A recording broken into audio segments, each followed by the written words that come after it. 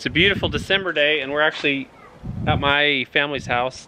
My dad's got beehives out here on his porch. You can see a couple guard bees right there just hanging out on the front porch looking for intruders. Actually, that one's dead. It's not too unusual to see a few dead bees out in front of a hive because when they die during the winter, the other bees will drag them out and throw them out the front door. I have higher hopes for how my family will treat me. Anyway, we're here to extract honey in December. And why are we doing that? It's a good question, but that's what we're doing today.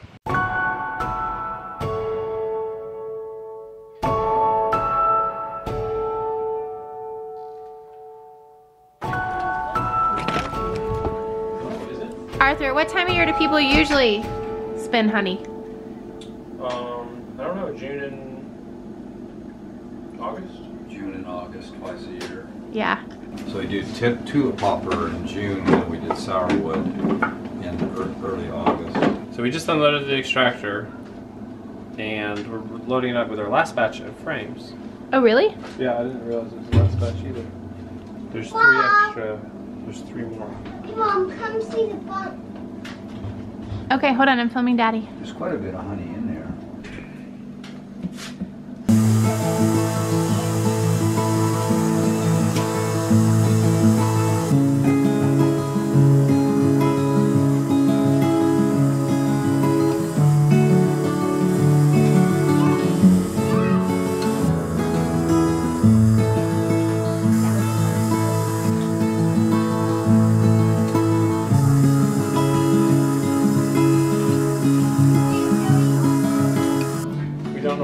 extract in December. I guess we're doing it because my dad hadn't gotten around to it yet. He wanted to do it with us so the kids could see the process.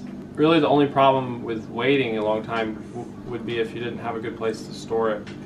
And we have seen it's a little bit drier than it might ought be, but it's um it's extracting fine. It's definitely on the thicker side though.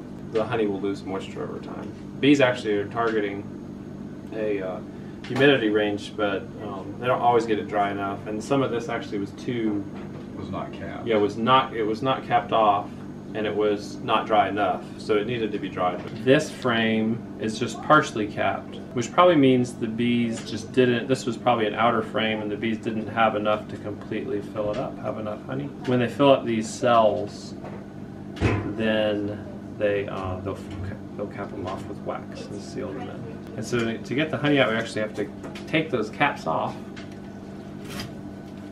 And we're using a hot knife for this, a little too hot. And then any little cells that we didn't get with the knife, we'll just scrape off, and we want to get all of them. Um, and then actually we'll go over all of it because sometimes that knife will make a little wax layer everywhere. And that one's ready to go. And you- you can see the honey in there. Do you mind getting up close? Can you see the honey on the camera? You can see the honey in there.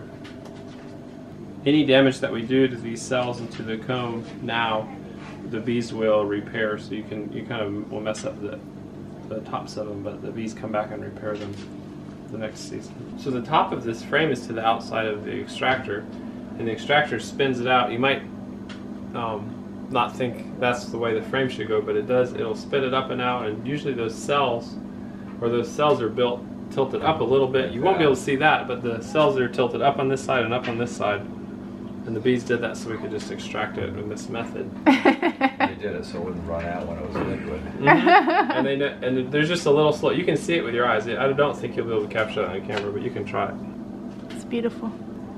So we're going to turn this on, and the coolest thing is that you can see the honey just flying out against the walls of the extractor. Oh, let me get a light.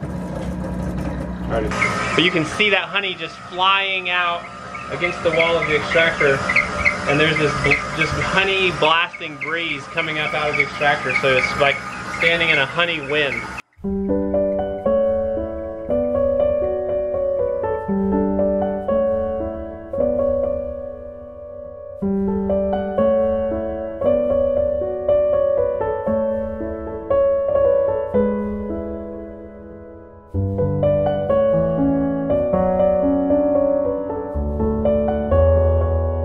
Then the honey comes down through this double screen. And I, I think this is technically still unfiltered. Do they call it, do people who say unfiltered honey, do they run it through a screen? Yeah. That's not a filter to me. No, it's not filtered. because honey- basically we're getting chunks of wax out of it. I Honey don't is know. almost never filtered.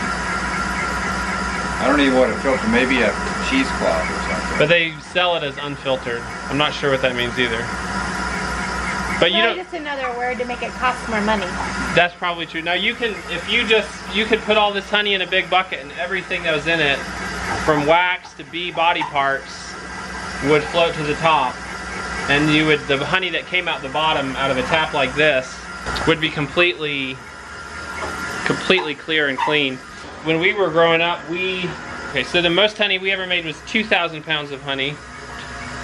And that was more than this. A ton of honey. trying to think how much 2,000 pounds was. That's a ton. Because it's a 200 gallons. 200 gallons? Whoa. What did you do with it? 200 gallons. Oh, We had 20 day. hives at that time, and that was kind of like a really, every one made, had a really good harvest that year. We had so. 12 hives. We had 12 hives? Yeah. Oh, so it was a really, really good harvest. Yeah. we had 12 hives when we made 2,000 pounds. We had up to 20 hives, but I think that was the most we ever got in a year when we had 12.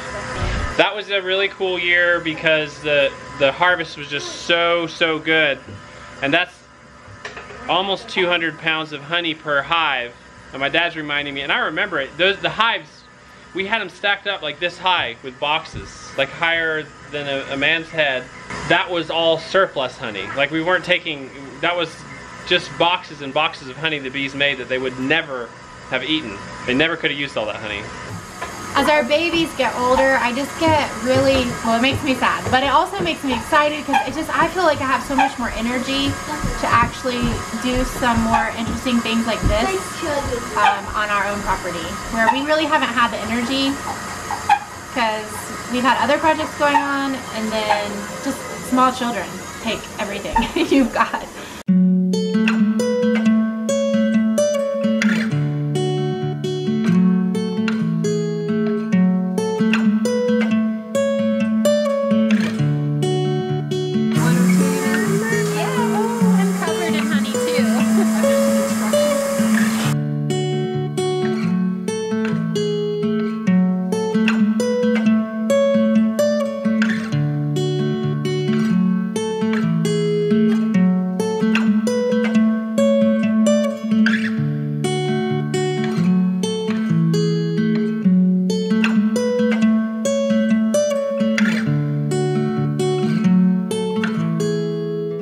Think about how hard it is to keep bees now versus in just even 15, 20 years ago?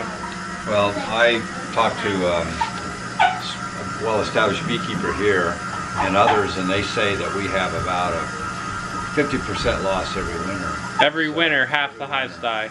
And this is talking to people who have These hundreds are people that are really good at it. a hundred and it years. Like yeah. Greg has got 400 hives, And and, so, he's probably yeah. has a better average than most people. But most people leave lose one out of two every winter. And that didn't used to be the case. If you were really Yeah. careful and you made sure your bees had plenty of honey going into the winter, um, you you could expect to have most of your hives alive. Right. When we were beekeeping, to lose a hive over the winter was was almost non-existent. Mm-hmm. Just um, it just never happened.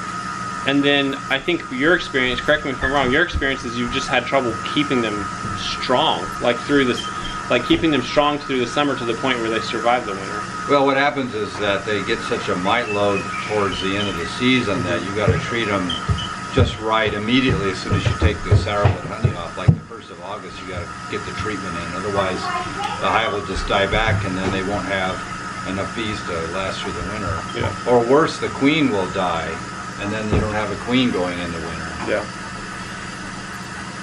Do you know why, or what, do you, what is your theory or your ideas on why it's so much harder? Well, a lot of people have different ideas, but I think it's a wrong hive. Yeah. and they develop resistance to just about anything you treat them with. And also, there's another factor is that there's a lot of people that are into not treating at all, and what happens is that they have they're hobbyists and they're not dependent upon this for an income, and so they their hives may die back or they may lose them all. But what happens is the the, the big beekeepers um, they treat their hives, but when their neighbors, the hobbyist hives, die, then their bees will rob out the hobbyists' hives, and they'll pick up the mites there, and so they they suffer from the lack of attention that the hobbyists do because they want to be purists. They don't want to use any chemicals. Yeah. And I think that's a great idea, but practically speaking, right now it just doesn't work. Is there? I wonder if there. I mean, have you done any research into if there's anyone doing it and succeeding? People are using sell organic honey. aggressive management techniques to, Yeah, to deal with mites, but it's not. It's not like agent free, and it's not. It's, it requires a ton of work. It's not doing nothing, Yeah. but It's yeah, I very say- intensive management. people are doing, So they are doing something. It's just considered Yeah. organic practices. or they're doing selective Yeah. treat. A lot of people do selective treatment of their hives with with mite counts, is, my, is what I've heard. Yeah, well, that's uh, integrated pest management is pretty sophisticated where you do mite counts and you use uh, ventilated bottom boards and and uh, you, you rotate your frames uh, because the, the, the varroa mites tend to like the drone frames, the drone, because they're big, I don't know why, but they, they prefer the drone Yeah. cells. And so the fewer drone cells you have, the fewer mites you might have. It's just lots of little things that people have to manage.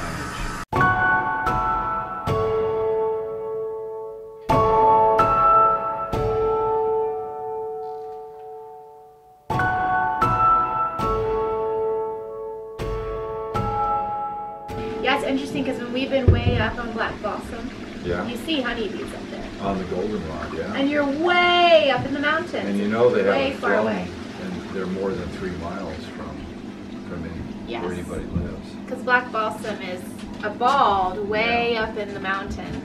That is one of our favorite places to go. But we always see honeybees when we go up there. And if you go first thing in the morning, what you see is them kind of frozen on the, Yeah, the yeah, the ones The I guess black- that didn't go back. Well, maybe I'm thinking of the other bees. Bumblebees. Bumblebee. Yeah, will it's the freeze up bumblebees more. you see, but the you still see honeybees up there in the war- when it gets warm and it warms up, and you see them. Yeah, the bunnybees or the bumblebees are the ones that you see like they're not asleep, but they're just like sitting on the flower waiting for the sun to hit Yeah, them. I think they, that's just what they do. yeah, They don't go home, they just stay on the field all night, sleep in their, sleep in their work clothes. Those are not done yet. No, I think, you can, if you need to go, I can finish this off here. Okay. We'll just let it run and and we can help finish. we can, back. need to turn this off. I'm gonna show you what the kids are up to. They got a little tired of extracting honey. Hi, I see you. I love this nice, safe trampoline. Look at you. One of the really fun parts of this process is actually eating honey as you go. And one of the nicest ways to eat it is to eat the honeycomb that you cut off those frames. And just chew the honey out of it. And then spit the wax out. Folks, thanks for joining us today. We had a great time over here. Didn't get a ton of honey. We're, my parents were splitting it with us uh, generously for our fairly small amount of help. And we had a great time while we were doing it. So we'll see you soon. Goodbye.